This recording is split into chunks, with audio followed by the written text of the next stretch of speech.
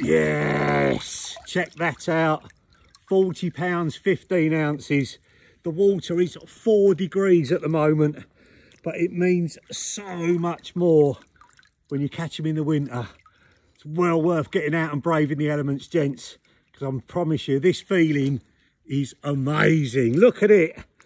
Yes.